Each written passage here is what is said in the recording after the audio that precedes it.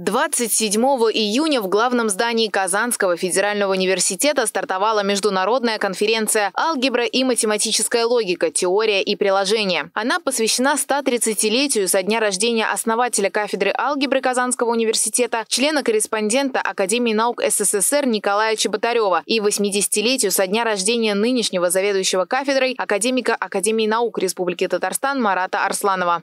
Основная задача, разумеется, это установление нового научно-образовательного сотрудничества как с другими научно-образовательными организациями, университетами других городов, регионов нашей страны, так и зарубежья. География конференции обширна. Поделиться своими исследованиями и обсудить вопросы теории приехали опытные специалисты не только из регионов России, но и из-за рубежа. Участие приняли ученые по таким направлениям, как алгебра Ли, теория колец, алгебраическая геометрия, математическая логика, теория вычислимости, алгебраические и логические логические методы в программировании, а также по другим близким разделам математики. Конференция славится своим широким спектром образовательной деятельности. В этом году доклады были поделены на шесть секций. Теория вычислимости, теория групп, теория колец и модулей, теория моделей и универсальная алгебра, алгебраическая комбинаторика и математическая и прикладная логика. В рамках этих направлений участники выступали с тезисами, в которых делились своим опытом, а также результатами исследований. Здесь школа логики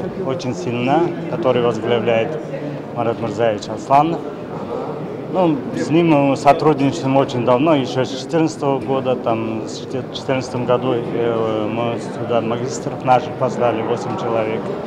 Потом э, на каждой конференции, которая проводит 5, по 5 лет, мы всегда участвуем в этой конференции. Казань мой любимый город, потому что первая конференция, куда я поехал, еще будучи студентом, и делал свой первый научный доклад, это был Казанский университет.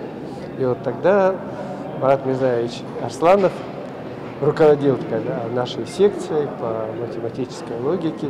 И вот с тех пор я с большим удовольствием приезжаю в Казань, в Казанский университет. У меня много друзей здесь.